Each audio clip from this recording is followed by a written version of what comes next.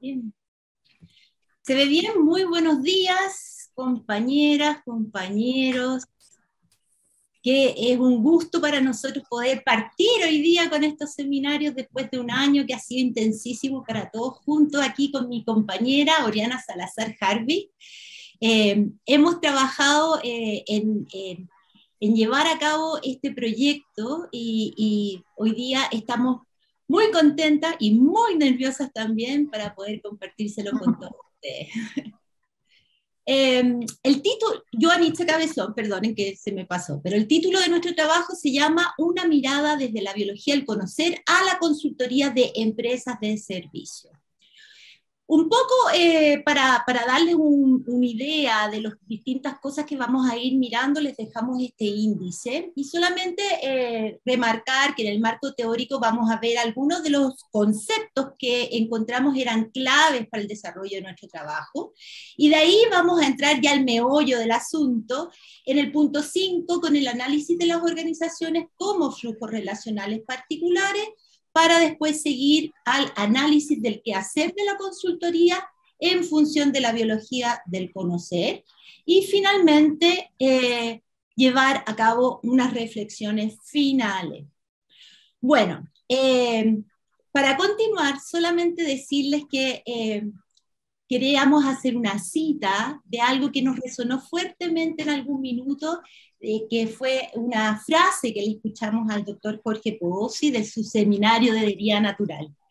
Y nos hizo tanto sentido que tuvimos que ponerlo aquí en nuestra presentación, porque efectivamente nuestro deseo con Oriana es hoy día tratar de evocar un oír en ustedes que se parezca a nuestro decir. Muy bien, entonces partimos ya con el trabajo propiamente tal y decirles, bueno, ¿por qué escogemos este tema? Bueno, las empresas de servicios son muy diversas en su conformación y su propósito.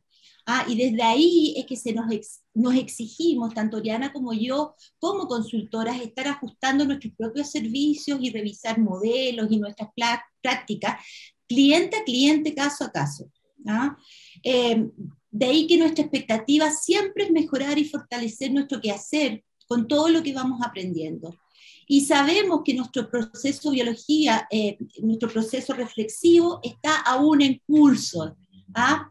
Eh, y desde ahí queríamos un poco partir eh, introduciéndolos a lo que vamos a estar viendo hoy día a partir de lo aprendido en este postítulo.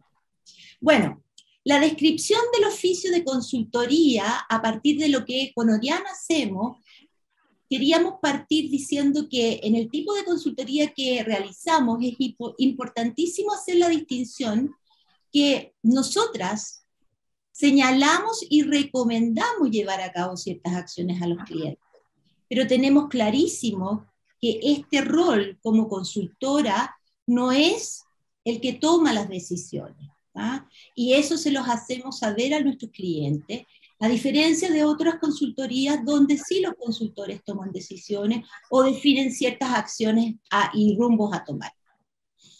Desde ahí, nuestro, eh, nuestro enfoque incluye la definición de los servicios como esta que les vamos a presentar.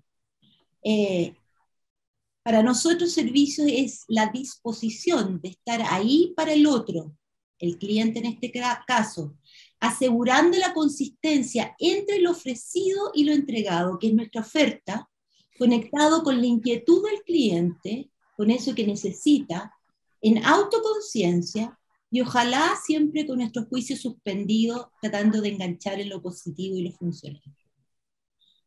Adicionalmente, y esto es un punto muy relevante para nosotros, eh, incorporamos siempre una dimensión pedagógica ¿ah? y de instalación de, de, capacidades, con el objeto explícito de poder generar cambios en el comportamiento y con ello aumentar la autonomía de nuestros clientes generando músculo interno. Bueno, muy buenos días a todos y a todas. Un gusto, como dice la Ani, estar aquí em, y contarles entonces un poquito acerca de lo que nosotros nos planteamos como, como objetivo para este trabajo. Como buen objetivo general, un poco ambicioso, porque lo que quisimos intentar es hacer un análisis crítico de nuestro oficio de consultoría, particularmente en la industria de servicios, desde la perspectiva de la biología del conocer.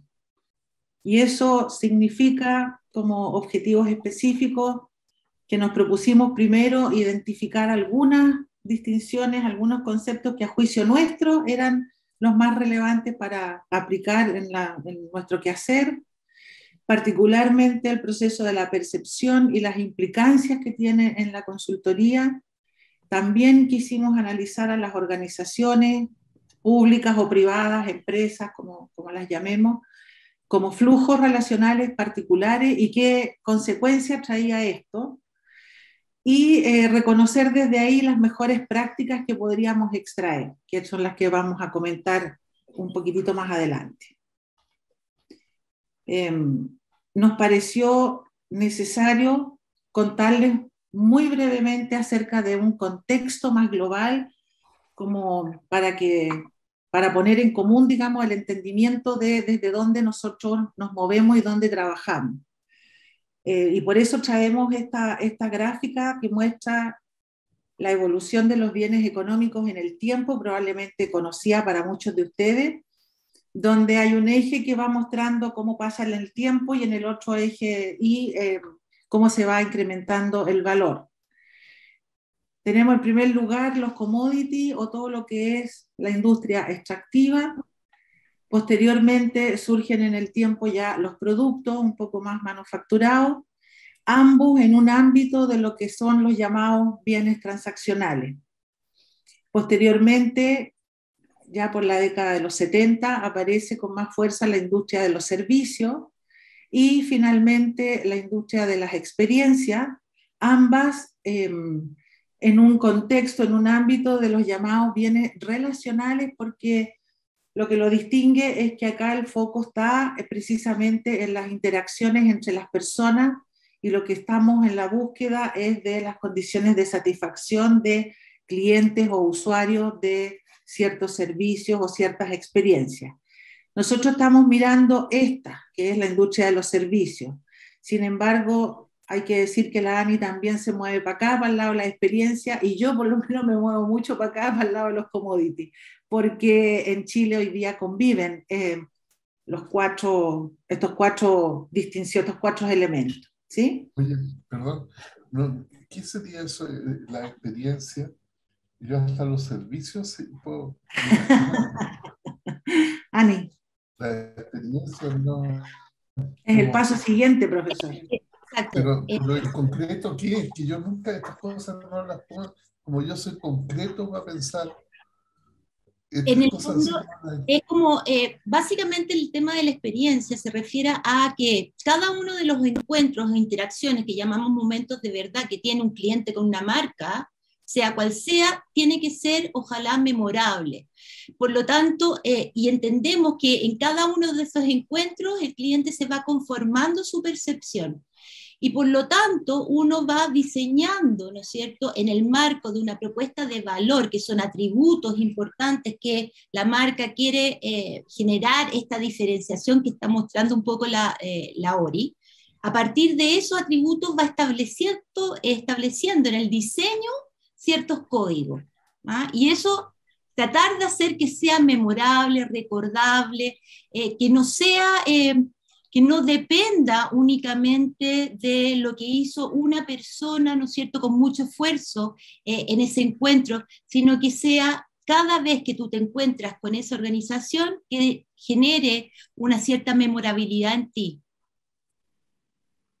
En ese sentido, en ese sentido quizás lo, que hay que destacar acá es que, como todo, eh, en el devenir de la historia, eh, esto se va haciendo más complejo, ¿no? Y las experiencias son mucho más sofisticadas en ese sentido, tanto en su diseño como en su puesta en ejecución, que eh, los servicios, que muchos productos y para qué decir los commodities. No obstante, como esto no es un, un corte Aquí no, ninguno de estos está químicamente puro.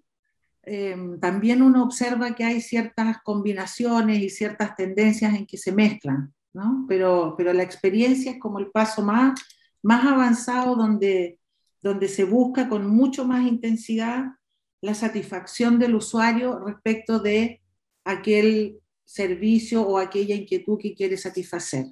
Solo sumar a eso un último punto. En la experiencia hay una alta significación emocional y simbólica que no, no está tan presente en los servicios.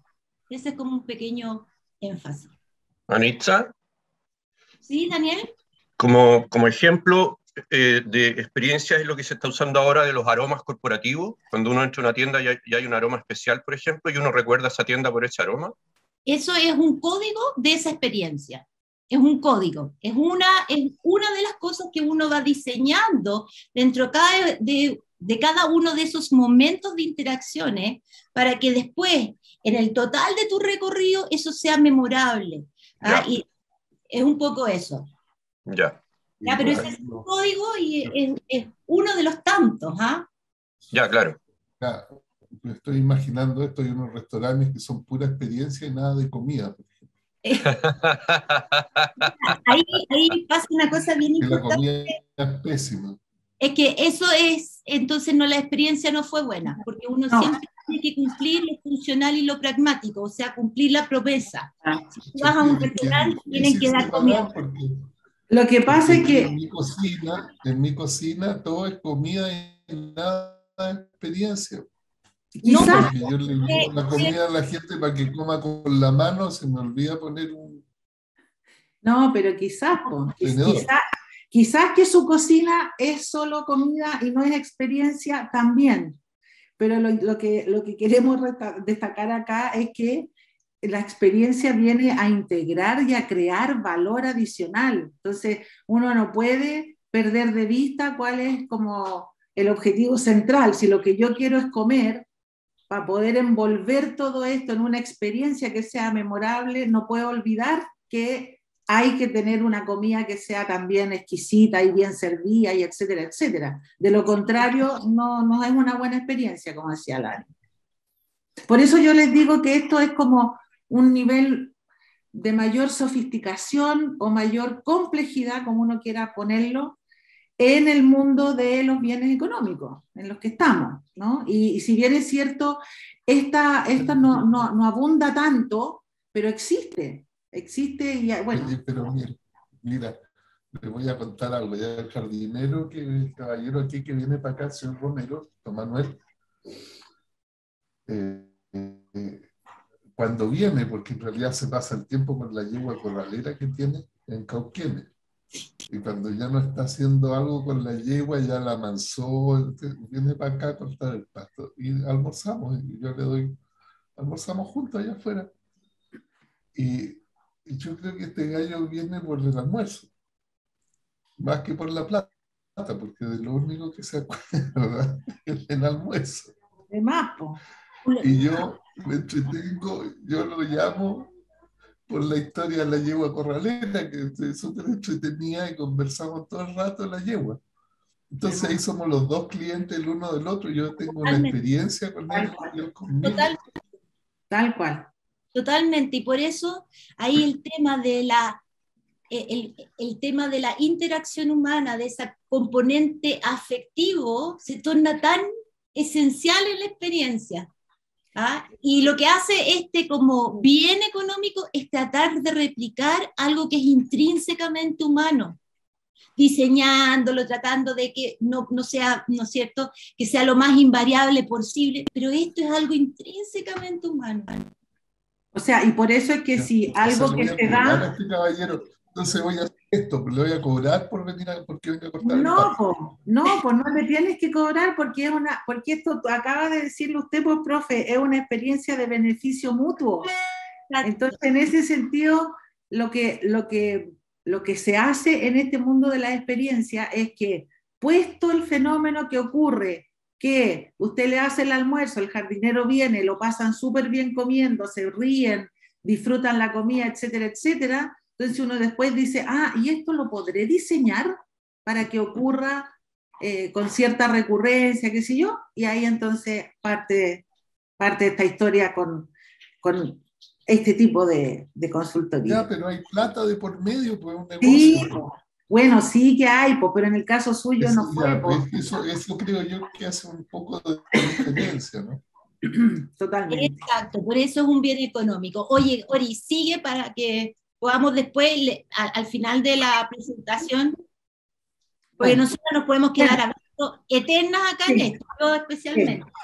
Eh, esta lámina en realidad, y, yo, yo creo que está bueno igual, Ani, que nos pregunten, porque de verdad a lo mejor ahora se entienden mejor algunas consultas que hacíamos a lo largo de las clases, cuando para nosotros era bien importante situarnos desde dónde estábamos hablando y qué particularidades tiene cada uno de estos bienes económicos que yo les estaba mostrando acá. Ahora, lo que, lo que viene a continuación es que bueno, siempre como les ponían el eje ahí, lo que se busca es la creación de mayor valor.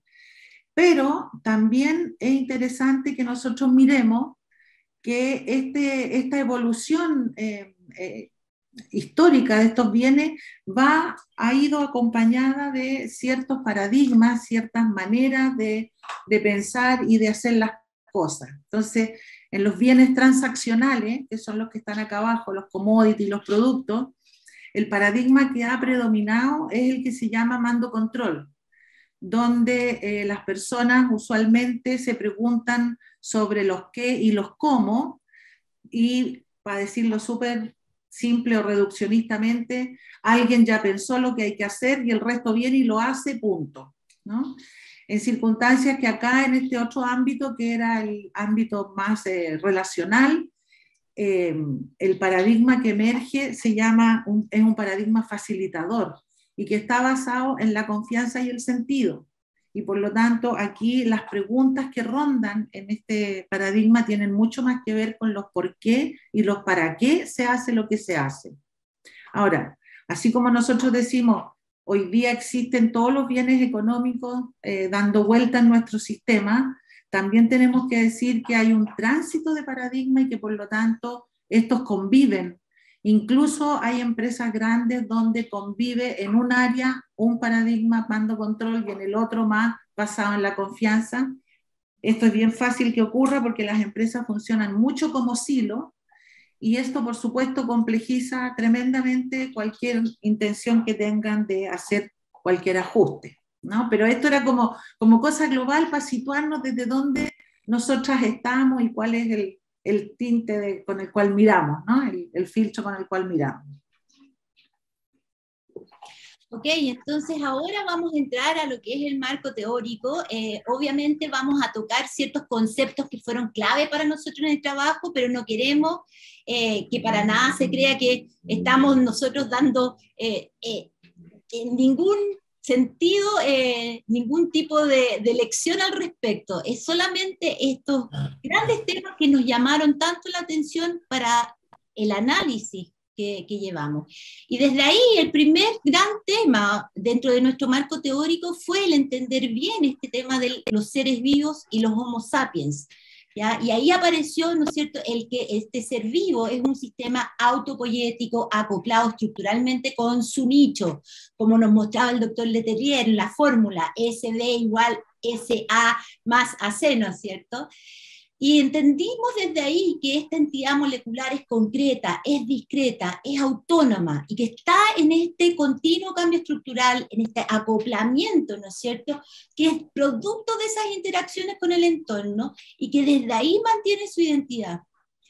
Y nos aparece, ¿no es cierto?, dentro de todas estas distintas evoluciones, de los distintos linajes que nos fue mostrando también el doctor Podosi, cómo aparece este Homo sapiens, ¿eh? cómo pasa a ser humano a partir de ciertas características que lo distinguen.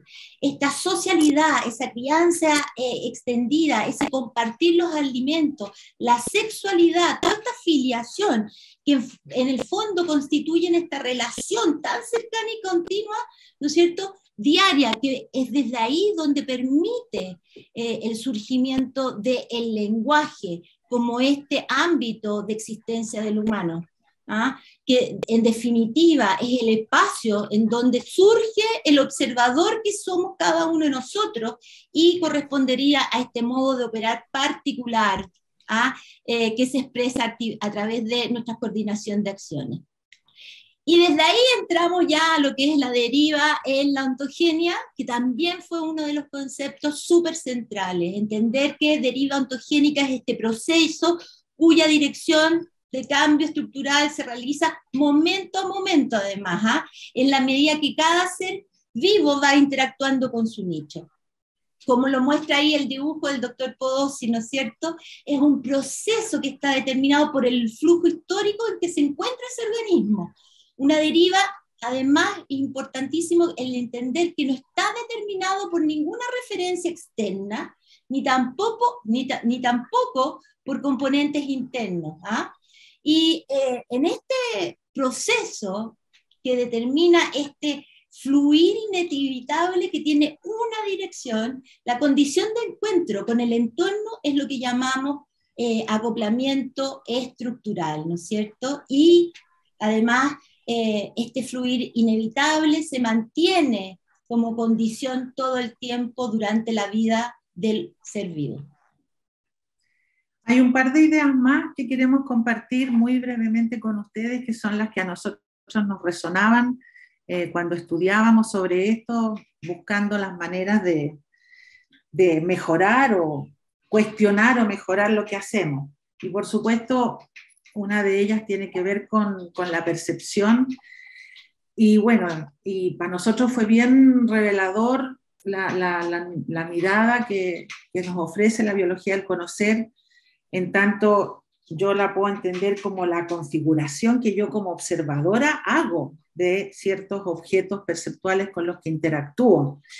Y lo hago, por supuesto, en correspondencia estructural con el medio, pero esto de esto de que los objetos perceptuales en realidad con los cuales yo puedo interactuar, los configuro en esa interacción, hace que evidentemente eh, no podamos nosotros decir, mira, lo distinguido en realidad está allá y yo simplemente lo tengo que aprender, sino que es en ese vínculo que aparecen estos objetos y por lo tanto se va configurando según las acciones que yo como observador voy teniendo, percepciones que podrían coincidir con las de otras personas o no. Y eso, eso es bien importante para nosotros eh, desde lo que hacemos. Y también nos apareció, ay, perdón, también nos apareció, ¿cómo me devuelvo a mí? Ahí, espera, espera. Ahí, ahí estoy pudiendo, ahí. Y, y, la última noción que nos pareció súper importante también eh, entender o profundizar, dando más vueltas en esto, tiene que ver con la conducta y las emociones, porque, porque bueno, eh, entendía la conducta como la relación que yo tengo como organismo con el medio y como una coordinación de acciones, eh, nosotros entendíamos que eso, por supuesto, estaba en el lenguaje, pero acá también surge con mucha más intensidad la emoción como un algo que me sucede como un algo que ocurre y que de alguna forma predispone a eh, la conducta que se puede adoptar de un amplio o no tan amplio repertorio que yo pueda tener, pero en el fondo eh, las emociones son las que posibilitan o no que ocurran ciertas acciones. Y en ese sentido, eh, la imbricación o, la, interdependencia que hay entre una y otra nos hace, nos hace a nosotros hacer una, mirada con mucho más detalle de todas las cosas que estamos haciendo. ¿sí? Eh, ahora sí, también quisimos hacer, como les decíamos al inicio, una, una pasadita a ver si las organizaciones, empresas, públicas, privadas, lo que sea, eh, podíamos mirarla como con esta idea de flujo relacional. Y para eso eh, partimos con, con esta conceptualización que nos entregó en alguna clase el profesor Letelier, que decía que el flujo relacional es una dinámica de relaciones en la relación del organismo nicho, donde se suceden recursivamente las acciones que permiten su modo de existencia. Vale decir, en la medida que yo, en mi acoplamiento estructural con mi, nicho, voy interactuando con objetos, que en el caso nuestro pueden ser, casi siempre son personas, voy a ir constituyendo estos flujos relacionales que es el lugar desde el cual opero. Eh, por lo tanto, eh, cada flujo relacional construye sus propios objetos que los van identificando, le van dando cierta identidad y aparece también aquí un fenómeno que es interesante mirar, que tiene que ver con la inclusión o exclusión dependiendo de cuánto participo o no en ellos. Em, bueno, esto también nos pareció que, dado lo que les decía recién, el flujo relacional también está siempre en el lenguaje y por lo tanto en coordinación de acciones que además conlleva las emociones que le preceden. Entonces, mirándolo desde esta perspectiva, sí nos parecía que una organización o una empresa puede ser entendida como un gran flujo relacional en el cual conviven subconjuntos de flujos relacionales interactuando y que se modifican entre sí, ¿no? en el devenir histórico que van teniendo de manera recursiva. Y lo que nos surge aquí con harta intensidad entonces es que em, hay flujos relacionales que tienen harta potencia y, usualmente cuando, cuando nos, nos, llaman o nos piden que les apoyemos en algunas cosas, em, eso tiene que ver con ajustes en los flujos relacionales y nuestro punto de partida es, bueno, dado que los flujos relacionales van estabilizando ciertos comportamientos, entonces, ¿cuán disponible estamos para eh, entrar en un espacio que ya tiene ciertas conductas estabilizadas? Y ahí entonces eh, nosotros entendíamos que la posibilidad de cambio está relacionada precisamente con la capacidad de soltar la certeza, que es algo que es súper complicado, súper difícil eh, pero que es indispensable, porque si no, si no, ni modo. ¿sí? Eh, eso con respecto a los, las organizaciones como flujos relacionales. Ani. Gracias. Y ahora vamos a partir mirando un poco lo que es la cultura resultante, ¿ah? lo que investigamos y lo que vimos a partir de estos flujos relacionales. Entonces, primero partir diciendo que la cultura resulta, obviamente, eh, de las conversaciones de ese grupo social y es un objeto que resulta de las acciones que se dan en los flujos, ¿no es cierto?, relacionales en que estamos. Y a su vez ella va a estar entonces dentro de nuestro modo de vivir que está en el lenguaje, ¿no es cierto? Eh, y desde ahí somos cultura dependiente, la llevamos donde quiera que vayamos y nuestra cultura va con nosotros. Bueno, y cuando estábamos investigando con la Ori, dentro de todas las cosas, nos, nos cruzamos con esta foto y más allá de la chochera queríamos mostrarla porque eh, evidentemente la foto aquí denota una cultura que es parte de un flujo relacional, ¿no es cierto? Eh, que está definido y que, nos permite ir observando, más allá de lo que nos, nos, permite ver esta foto, ¿no es cierto?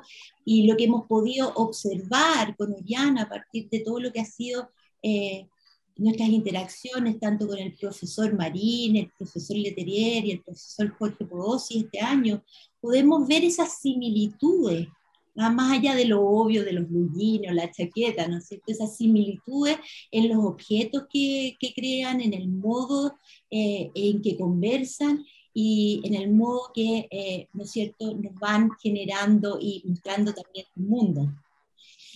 Y bueno, importante, eh, hay aprendizaje cuando se, se, observan nuevos comportamientos, productos de esas interacciones de las personas. ¿ah? Y desde ahí queríamos decir que también, em, al igual que un ecosistema, las culturas en las organizaciones también lo son. Y también están en esta constante deriva a estructural. Por lo tanto, es importantísimo que al momento de eh, ir diseñando, ¿no es cierto?, las intervenciones, tanto Oriana como yo, consideremos esa variable, ¿ya? Porque si, si no lo hacemos, no van a suceder los cambios que esperamos sucedan, ¿no es cierto? Y desde ahí la cultura va a tener estas particularidades que al distinguirla como estos cambios de estados o modos que nos decía el doctor eh, Jorge eh, del organismo en el entorno, los vamos a hacer además siendo parte de ella. Y al mismo tiempo ahí aparece este juego de que nos situamos también fuera de ella. Entonces eh, ahí nos aparecía con Oriana fuertemente este que lo que hacemos en el fondo es ser observadoras de los observadores del observador ¿ah? eh, dentro de nuestra consultoría. Finalmente, para decir aquí, podríamos estar horas, esto podría ser seminarios solo de cultura, eh, por así decirlo, pero no es el punto. Pero los flujos relacionales, como dijo eh, Oriana, estabilizan ciertos comportamientos que se expresan en la cultura.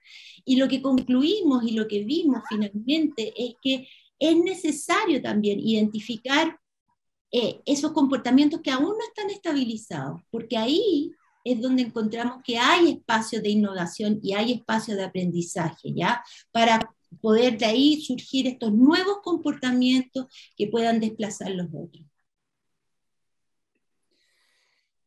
Finalmente, perdón, perdón, Ani, era y tú. dale, dale, dale. Desde ahí, importante decirles que eh, cuando nosotras hacemos nuestras intervenciones en las organizaciones, partir diciendo que lo hacemos desde el entendimiento de, como dijimos inicialmente, la autoconciencia, o sea, desde este acercamiento como las observadoras que somos. Y desde ahí partimos eh, tratando de, en el primer momento, generar un diagnóstico que permita ¿no es cierto?, como las observadoras que somos, entender a la organización. Y ahí aparecen preguntas que para nosotros son bien, bien poderosas, como cuál es el contexto, cómo se relacionan los vínculos de poder, etcétera, las que están ahí y otras muchas más.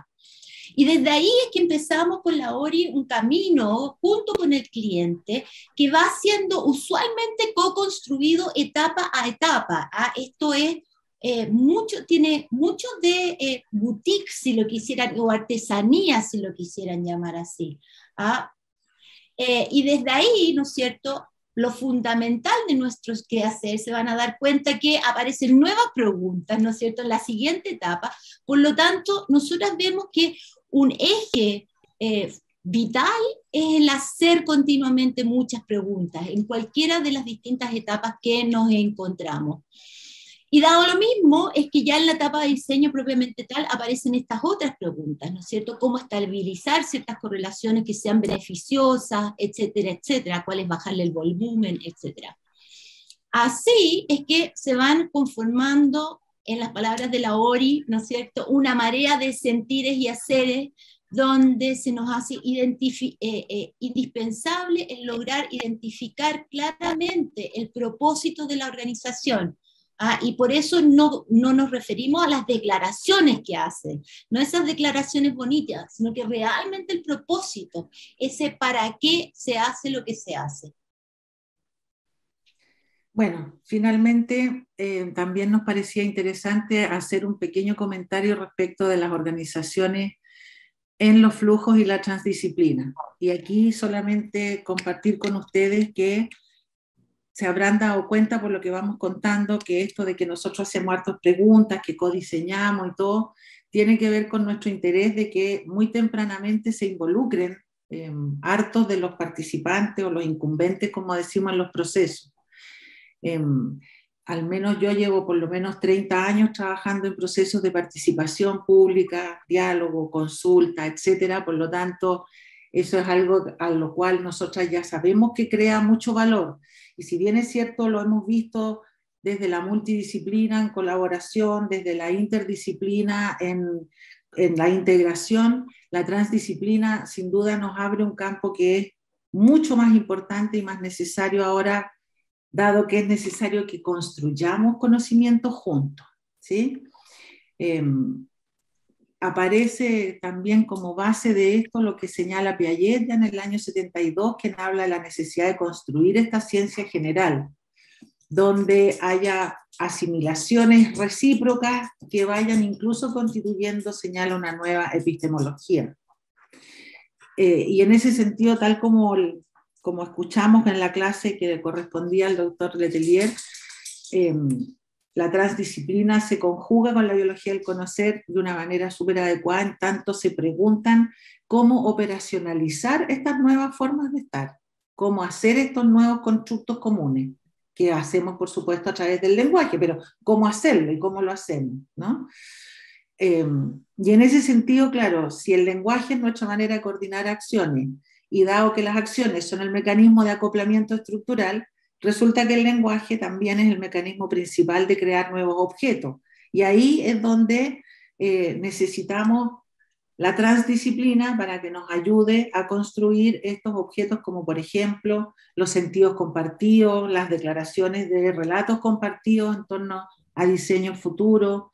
Em, la verdad es que la transdisciplina sentimos que es, un, es como un desafío, porque es lejos el mejor camino para seguir a ojos nuestros, pero tiene algunas complejidades que vamos a contarles en un par de minutitos más. Ok, entonces vamos a partir a ver, eh, conversando y, compartiendo con ustedes los hallazgos, que no fueron solamente del trabajo que ustedes están viendo, sino que también de muchas de las, eh, de las reflexiones y las conversaciones que tuvimos con Oriana a lo largo de todo el postítulo. ¿ah? El primero que aparece ahí que ustedes pueden ver es que las organizaciones y las empresas no pueden asimilarse a seres vivos. ¿Y por qué lo pongo ahí con tanta fuerza? Porque efectivamente hasta hace poco eh, dentro de la consultoría yo utilizaba este, eh, este similitud, por así decirlo. ¿ah? Hay, una, hay toda una corriente teórica que nace como respuesta a la mirada mecanicista de la gestión de las organizaciones de los 40 y los 50, ¿no es cierto? Donde hay autores como Peter Senge, Niklas Luhmann, Stuart Hoffman, que hacían esta asimilación de las organizaciones o las empresas a los seres vivos. Em, incluso eh, Aquiles Limón, un cibernista chileno, hablaba de esto, de la empresa como un sistema autopoyético. Ahora, después de lo que ha sido nuestro eh, conocer durante este año en el postítulo, sabemos que aquí eh, hay un error, que son dominios distintos, ¿ah? que esto no es el dominio molecular en que aparece el ser vivo, este es un dominio distinto de la actividad humana la empresa no califica como ser vivo desde el punto de vista estrictamente biológico y eso nos pareció muy poderoso. Después, al mirar a los seres humanos, ¿no es cierto?, operando de manera sistémica y dado que además ellos son los que conforman estas organizaciones, entendemos la dificultad que existe para poder distinguir eh, los efectos que va a tener cualquiera de los cambios que se generen en la estructura que pueden ser expresadas como comportamientos o conductas respecto del sistema. ¿ya? Eh, otro de nuestros grandes hallazgos o insights que podríamos decir, porque fue lo que nos pasó a nosotras, eh, siendo la organización una red de conversaciones, ¿no es cierto? Desde ahí desconocemos también el alcance y la profundidad de los cambios qué se generará en ella, ¿no es cierto?, producto de una intervención. Y eso va muy de la mano con el punto anterior. Otro hallazgo es que además eh, el tema de la percepción, como les dijo Oriana inicialmente, nos caló fuerte y hondo, ¿ah? y como ya no existe lo que creíamos era una realidad independiente a nosotras, ¿no es cierto? Ya lo podemos entender y lo podemos ver. Nos empiezan a surgir preguntas, preguntas que sentimos son muy importantes. Eh, entonces, cosas como, ¿formará parte de la consultoría el intento de incorporar esta mirada en el cliente? ¿Cómo se hace esto, no es cierto, para evitar o reducir eh, resistencias organizacionales previas?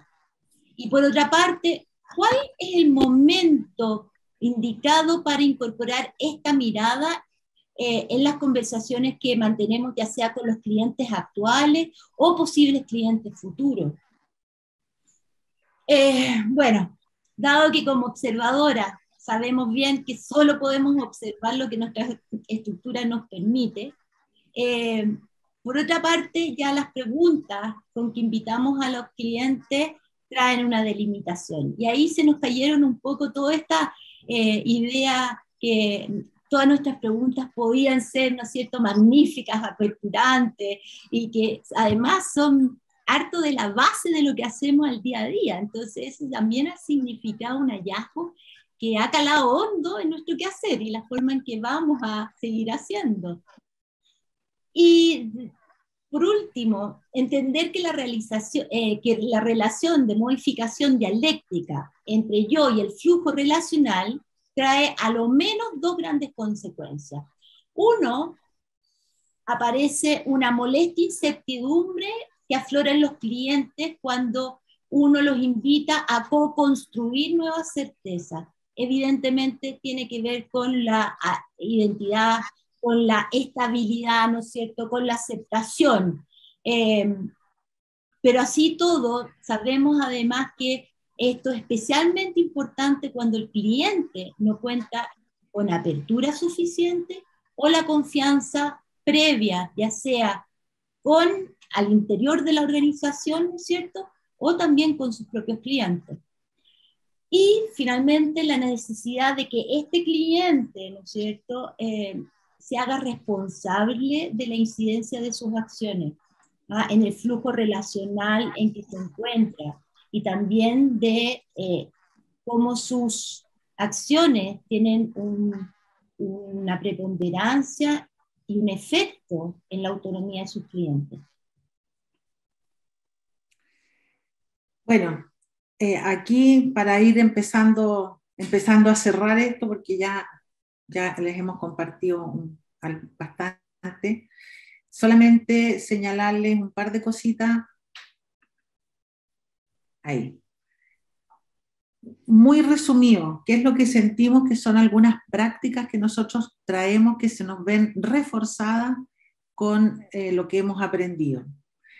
Eh, la primera es que al entender a una organización como un flujo relacional que va cambiando recursivamente eh, a través de la deriva histórica, eso nos, da más fuerza, más fortaleza para eh, eh, para realizar lo que nosotros hacemos como el entendimiento, la mirada sobre la cultura organizacional que finalmente es la expresión de eh, lo que está ocurriendo en las organizaciones.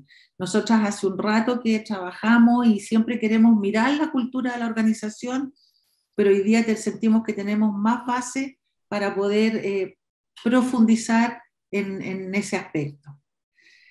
Por otra parte, también nosotras hemos trabajado con este entendimiento de que es muy importante que haya un coemocionar para que puedan ocurrir nuevas coordinaciones. De hecho, nosotras nos apoyamos harto en la disciplina de la facilitación, que en esencia tiene que ver con entender y construir contextos que permitan eh, una predisposición emocional a entrar en conversaciones y en coordinaciones de acciones. No obstante, es mucho más radical esta mirada ahora cuando entendemos que de no existir una coemocionalidad no hay relación posible. Por lo tanto, eso está mucho más acentuado. Eh, y bueno, y lo otro está relacionado con lo que les señalaba adelante, en el sentido de que en tanto entendemos el observador en su operar en el mundo es el que va construyendo la realidad, entonces es mucho más importante y mucho más poderosa la necesidad de hacer un trabajo transdisciplinario ¿no? y de involucrar activamente a todos los que tienen algo que ver en esto para poder eh, sacar adelante los requerimientos que se tengan. ¿no? ¿Qué, ¿Cuáles son las cosas que se nos han puesto complicadas complicadas, entre paréntesis, que las tenemos cuestionadas o que se han puesto más difíciles. Eh, primero, lo que, un poquito lo que decía la Ani hace un rato, en el sentido de, eh, dado el lugar en que nosotros estamos, que no tomamos decisiones, pero además, en este entendimiento de una organización como flujo relacional, em, efectivamente lo que, lo que ellos quieren o, más o menos deletrean en sus solicitudes ¿Será posible abordar desde la consultoría? Es una primera pregunta y es una pregunta gruesa que ustedes imaginarán que nos pone, nos hace tambalear bastante. Eh, lo otro que se complejiza es que también cuando nosotros entendemos que el propósito de una organización tiene que ver con la declaración de cuál es el flujo relacional que yo deseo que prevalezca aquí, entonces es súper imprescindible el trabajo participativo y la co-creación.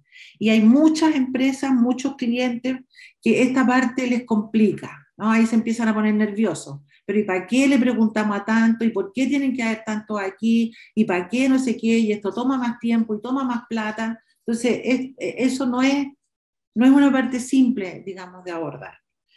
Por otro lado, nosotras hablamos al inicio de lo que, que el servicio tenía que ver con el desarrollo de una capacidad importante de conectar con la inquietud que tiene el cliente o el usuario a quien corresponda en este caso.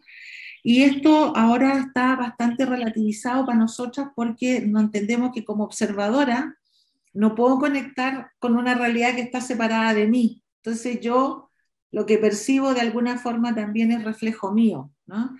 Y eso nos pone hartas dudas. Eh, y nuestra pregunta con la que estamos hoy día tiene que ver entonces con desde dónde nos paramos ¿no? para poder hacer la consultoría.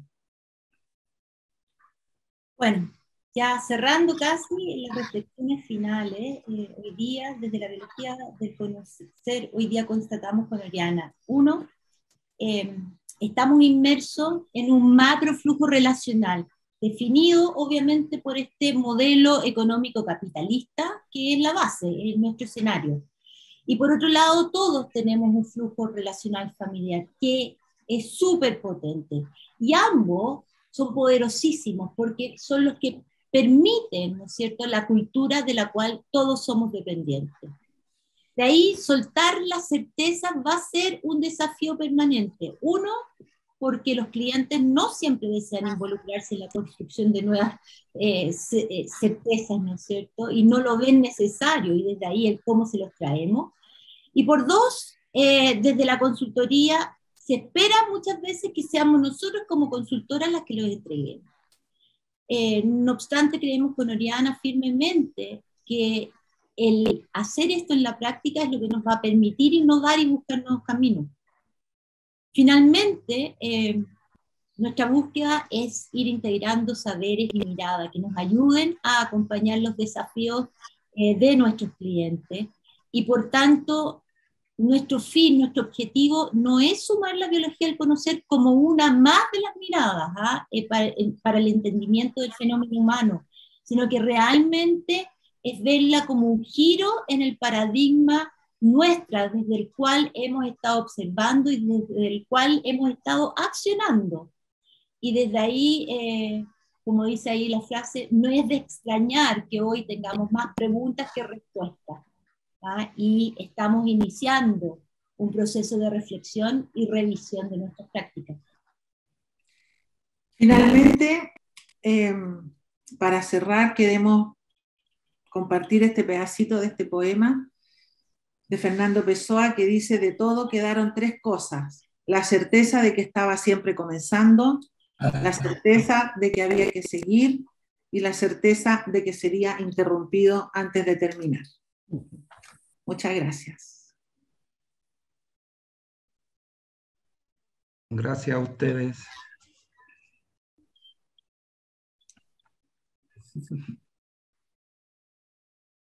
Yo tengo una pregunta. ¿Hay preguntas? No. sí hay. para, mí, cultura en general, ¿cuáles son las razones por las cuales ustedes son contratadas como consultoras? ¿Cuáles son las preguntas? Hay, hay, yo, yo, diría que hay distintas motivaciones, ¿ah? y, y, y, en nuestra consultoría pasa con relativa frecuencia que una empresa quiere supuestamente A y en la medida que vamos haciendo la conversación del servicio, este va mutando a otra cosa. Entonces, nos llaman desde, eh, queremos hacer una evaluación de cómo está el clima aquí y hacer una medición de clima, hasta, eh, hasta queremos mejorar, no sé, nuestra interacción con los clientes, rebajar rebajar las cantidades, las cantidades de reclamos que tenemos o de insatisfacciones. Eh, es de diversa naturaleza. Lo que, lo que yo puedo decir es que en la gran mayoría de los casos, el proceso que hacemos hasta cerrar un contrato, por así decirlo, es un proceso que no es corto y que en esa conversa se va dibujando bastante más precisamente eh, lo que se puede hacer y lo que ellos A veces algunos nos dicen, porque nos han conocido, nos dicen, mira, no sé muy bien, conversemos. Y otros dicen, mira, yo quiero un sándwich de palta con, con queso. Y, ¿no? Entonces, como bien variado. ¿Quiénes son los stakeholders? Eso nunca lo he entendido yo, los stakeholders, ¿quiénes son? Cualquier persona, cualquier persona natural o jurídica, o sea, personas o agrupaciones que tengan algún interés de involucrarse, participar en un proceso que está ocurriendo. O que puedan ser afectados por el mismo. O que puedan ser afectados. Que tengan interés o posible afectación. A eso se le llaman los... Es que el stakeholder tiene, eh, tiene una pésima traducción al castellano, eso es lo que pasa. Pero grupos de interés se usa en castellano usualmente. Son los interesados en que el asunto funcione, en realidad. Interesados y o afectados. Lo que pasa es que puede ser una persona o puede ser una agrupación. Y muchas veces el más afectado en todo esto es el mismo cliente usuario y no siempre lo contemplan en el tipo de consultoría que nosotros tenemos. O cuando lo contemplan, muchas veces lo contemplan solamente como ya les hacemos encuesta y con eso estamos. ¿ah? Em, y en este proceso uno trata de integrarlos y hacerlo mucho más partícipe también. ¿ah? Pero lo que se busca es, eso es lo o sea, siempre lo que se busca es ganar algo, ¿no? Una ganancia. No, no, es que no le escuchamos. Una ganancia. Fue la onda.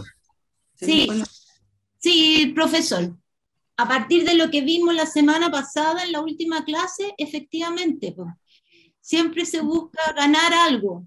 El punto está que en la consultoría tenemos la oportunidad de o ser instrumento para que ganen por el resultado o hacer que ellos cambien esa mirada y se den cuenta que el valor está en el proceso. Y como logro empezar a generar estabilizar, estabilizar autonomía, ¿no es cierto?, eh, autoaceptación en las distintas personas que están y son parte interesada o que pueden ser afectados por esos procesos que se van haciendo. Es complicado el asunto porque qué cosa es el valor. Por ejemplo, la Teletón, si fuera el Teletón un, un, un cliente esto a mí me complica también porque como hay varias etapas de clientelismo aquí. O sea, la ustedes son, tienen un cliente, pero el cliente tiene clientes. Exacto. Ya, aquí eso hay que distinguir los clientes de primer y segundo orden, porque cuando estamos hablando de los clientes, ¿de qué clientes estamos hablando? ¿De los que están más allá de las víctimas, digamos? ¿O de los victimarios? y hay clientes internos y hay clientes externos. Eh, claro, si el yo creo se que, podría describir así, somos todos clientes de todos. Pues. Exacto, porque eso tiene que ver con lo que nosotros decíamos al principio, profe, de esta habilidad que hemos tenido nosotros para ir complejizando las cosas y complejizándonos la vida y complejizando los entendimientos. Entonces, algo que las cosas no son así como bionívocas, bueno, este, este es o no es cliente. Hay una infinidad de actores en juego, hay una infinidad de stakeholders, hay una infinidad de clientes, hay, todo depende de dónde uno se para y qué es lo que está mirando. ¿no? Ahora, a nosotras nos contratan las empresas o nos contrata algún ministerio o alguna repartición pública.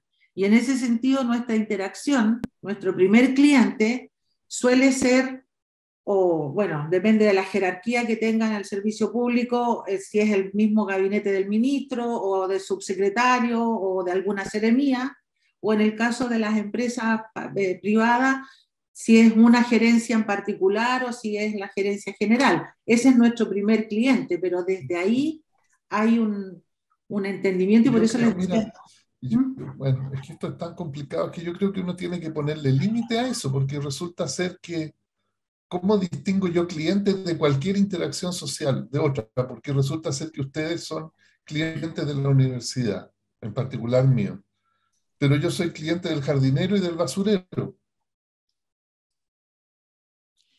Entonces todos somos clientes de todo. Entonces, ¿cómo distingo yo qué tipo de cuál es el clientismo del cual estamos hablando.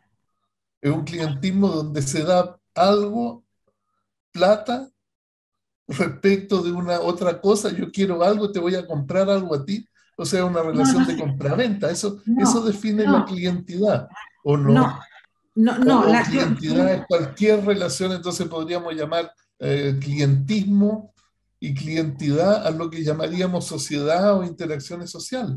No, yo diría que no, eh, no sé, ah, yo no estoy, estoy pensando en voz alta, no sé lo que va a decir la Ani de esta cuestión, pero, eh, pero claramente cuando, nos, cuando nos paramos desde el espacio que usted señala, el ser cliente no necesariamente está mediado por una transacción de dinero. Puede que sí y puede que no, porque cuando estamos hablando, por ejemplo, de las personas, una gerencia que le presta servicio a otra gerencia que le tiene que entregar insumos para que esa gerencia desarrolle su labor, eso no está mediado por plata, sino que son parte de la misma organización. ¿Me explico? Cuando yo como servidora pública digo, que viene gente de la comunidad a pedirme preguntas, en fin, antecedentes, etcétera, etcétera, yo reconozco en ello que es parte de mi razón de ser, es parte de mis clientes, estar al servicio de ellos y no hay mediación de plata ahí. Entonces yo más bien lo que diría es que el vínculo de, de clientismo tiene que ver cuando hay algo que tenemos un interés común que necesitamos satisfacer entre los dos que puede o no estar mediado por plata. Ahora, eh, como, como bien dijo, doctor, usted dijo, eh, esto puede ser infinito, lo podríamos, depende de cuál es, ¿no es cierto?, el ámbito en que lo queremos mirar, podemos hacer este clientismo infinito. Pero también hay que acordarse un poco cómo partimos con la ORI, cuando definimos servicios, ¿no es cierto?, con la, no solamente con el tema de disposición de estar ahí, sino que también dijimos asegurando la consistencia de la oferta. Entonces, es esa oferta también la que va delimitando, acotando. ¿ah? Es como cuando yo digo, bueno, cuando vamos a diseñar un viaje, ¿cuál es el, e, e, el, margen de lo que va a ser un viaje ¿ah? de, de, experiencia, de un producto o una, un servicio? Entonces, efectivamente, podemos mirar esto como eh, circunferencia eterna o acotarlo y decirle, bueno, esto es un poco la mirada y desde ahí en la definición de la oferta es importante tenerla dentro de la consideración. Me da la impresión de que en la medida en que uno amplía,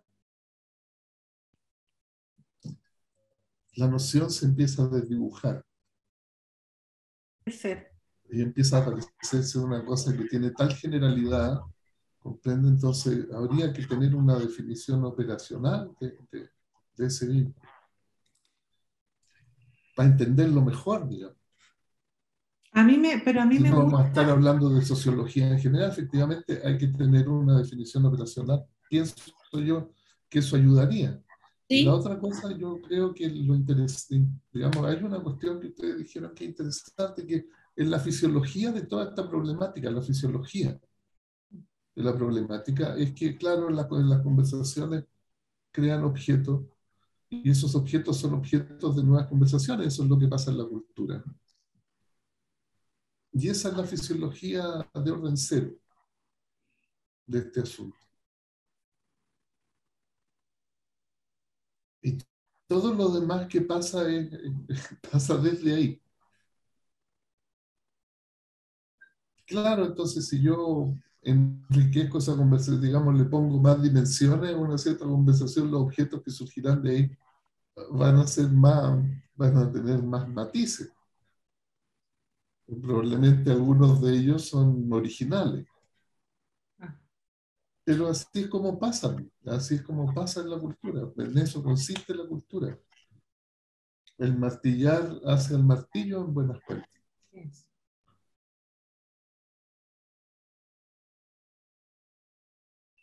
Ahora no sé si es bueno o malo, yo ahí ya no sé. no sé esa parte, no sé. Sí. Ese valor, no, no, sé, bueno, supongo que no sé yo. Yo no opino de eso. Bien, nos preparamos para Doctor. Si uno lo separa de la plata, entonces, ¿cuál es el valor?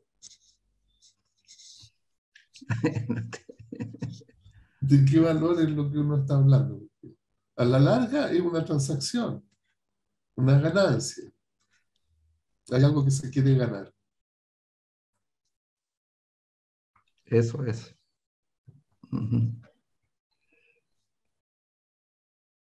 Entonces se da algo a cambio de otra cosa. Aunque sea súper sutil, perdón. Son transacciones, eso son. Yo tengo otra pregunta. Que no, porque para avanzar, porque si no nos vamos a eternizar en un pura pregunta. El otro grupo, ya, diga nomás, doctor. Entonces, este sería un procedimiento como para hacer algo necesario que aquí lo que han mostrado es que hay la necesidad de hacer una taxonomía de los flujos relacionales en la empresa. Y eso es lo que habría que hacer, digamos, no todos son iguales. Ah. Bien. Claro. Sí. Esa, es una, una, una de las derivadas posibles, una de las consecuencias es lo que dice usted, empezar a hacer una taxonomía, empezar a jugar con ver alguna posibilidad de modelar, eh, empezar a mirar. Ya. Bueno, le agradecemos, muchas gracias por su presentación. Está preparado el otro grupo para partir. Y yo lo personal. Gracias. Yo aprendí muchas cosas, yo quiero decir eso de la presentación, aprendí un montón de cosas. no sabía, por ejemplo, los stakeholders y todo lo complejo que es este. el cliente consumidor. Una especie de cuerda floja, eh, conceptual esta cuestión. ¿eh? Uno se cae para allá, se cae para acá en cualquier momento. Camina una línea súper tenue. Sí, señor. Así es.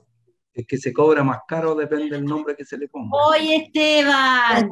Esteban, por favor, sé dulce y guarda silencio.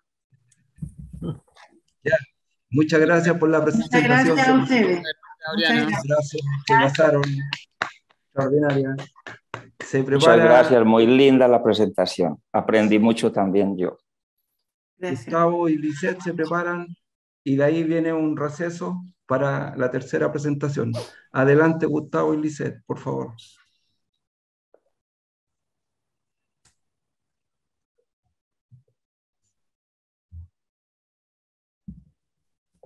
Un comentario chiquitito, son bien mateas ustedes, chiquillas, ¿ah? Pucha que trabajaron. Así que felicitaciones. quedó bonito, yo no nadie. Sí, súper bien, súper bien. Y también aprendí mucho, así que gracias. Muchas gracias. Gracias a ti,